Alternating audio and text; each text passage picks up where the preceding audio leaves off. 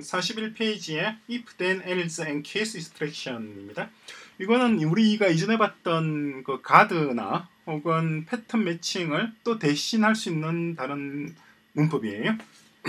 내용을 보시면은 if boolean expression입니다. 그러니까 가드에도 가깝죠. 그런 다음에 then 이게 만약 참이면은 참이면은 true면은 then 이하의 문장이 수행되고 그렇지 않으면은 다른 else 이하의 문장이 수행되는 게 expression 그죠? 두 개의 expression 중에서 어, 참일 경우 앞에 걸, 거짓일 경우 뒤에 것이 실행되도록 하는 것이 if then else입니다. 우리 JavaScript랑 비슷해요. 그래서 보면은 예제 let x equal 2, y equal 3 해서 x가 y보다 크다. 그죠? 이게 참이면은 이게 참이면은 여기 이 expression이 실행되어서 x가 return 되겠죠? 이게 거짓이면은 이것이 거짓이라고 한다면은 else 이하에 있는 expression y잖아요. 이 expression이 evaluation 되어서 y 값이 return 되게 됩니다. 그렇죠? 간단하죠?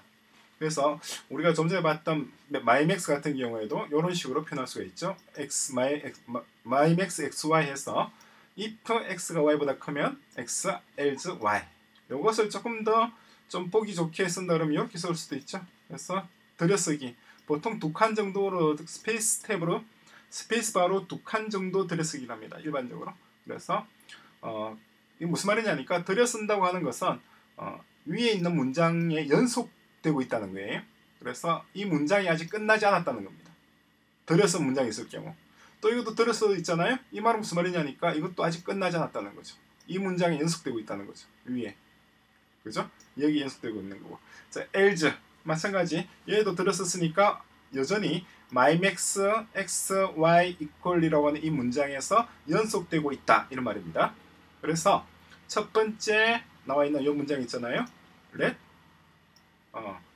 그래서 요 여기 있는 이 문장과 그리고 밑에 있는 이 문장이 정확히 같은 의미입니다. 들여쓰기 된 부분을 잘 보셔야 돼요. 어, Haskell은 들여쓰기가 중요합니다. 그리고 factorial 같은 경우는 또 이렇게 어, if, else로 이렇게 표현할 수가 있죠. 우리가 봤던 그런데 이 if then 뿐만 아니라 또 다르게 쓸 수 있는 것도 있어요. 그게 이제 어, case라고 하는 건데 case가 왜 필요한지 보겠습니다. 만약에 여러 경우가 있을 경우 여러 경우가 있는 경우 그 중에서 하나를 선택해야 될 경우 좀 예를 들어서 어떤 경우냐니까 밑에 예제 나와 있는 거예요. 한번 여러분들 입력해서 실행할 필요까지는 없을 것 같아요. 보고 눈으로 보고 이해를 하면 충분합니다.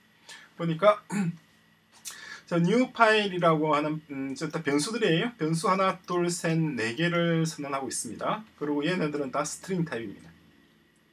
그죠? 변수 네 개고 어, 그런 다음에 얘에 대해서 각각을 하는 겁니다. interpret command라고 하는 function을 선언하고 있어요. definition하고 있죠. 캐릭터를 받아서 string을 return하는 겁니다. return하는 function으로 되어 있죠. 그죠? 음, 그래서 이제 우리가 캐릭터를 입력했을 때 그 캐릭터가 어, n이면은 new file 해서 여기 있는 new file 얘를 화면에 보여주고 그죠? 우리 입력한 것이 O이면은 open file을 보여주고 S면 S, save file 아니면은 quit program이라고 글자를 보여주는 거예요.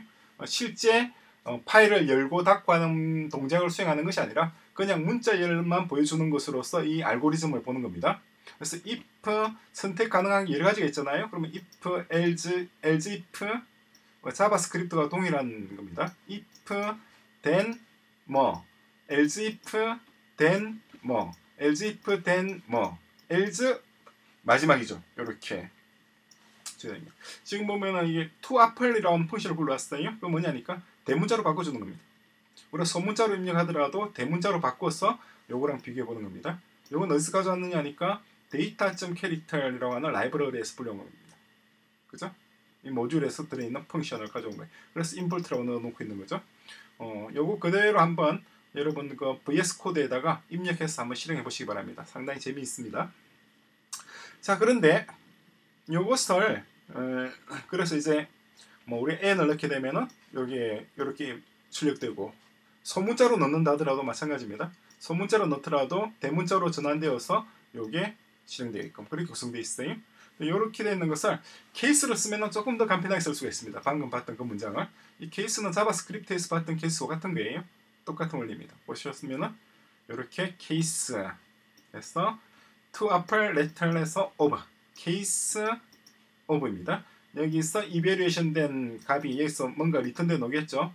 여기서 to upper letter 리턴된 값을 그것이 요금에는 이렇게 하고 요금에는 이렇게 하고 이렇게 하라는 겁니다. 훨씬 더 간명하죠. 어, 케이스 오브 문장입니다.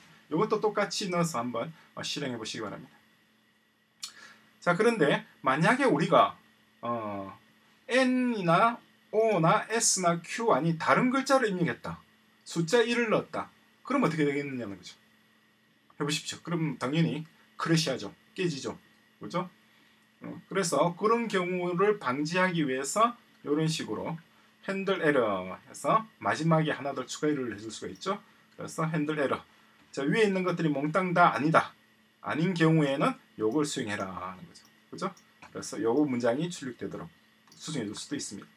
마찬가지 케이스 문장에서도 똑같이 해줄 수가 있죠. 위에 있는 요 네 가지가 아니다. 둘, 셋, 네 가지가 아니다. 그럴 경우, 다른 모든 경우, 그죠? 주로 로, 로데시를 씁니다. 로데시를 넣어서 다른 모든 경우에 대해서 이것을 수행해라. 라고 하면은, 어, 그러면 우리가, 어, 엉뚱한 단어, 글자, B를 넣는다거나 C를 넣는다 하더라도 깨지지가 않죠. 자, 그러면 연습 문제도 같이 해보십시오. 연습 문제가 뭐냐니까, 어, 이 case if, else expression과 case expression을 이용해서 우리 이전 에피소드에서 살펴봤던 피보나치와 summation과 파워 있었죠? 파워 연습 문제를 했었잖아요. 요 세 가지를 다 한번 다시 구현해 보십시오.